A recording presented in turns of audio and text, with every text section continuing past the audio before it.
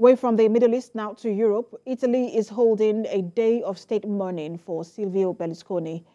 The former prime minister's state's funeral is taking place at Milan Cathedral.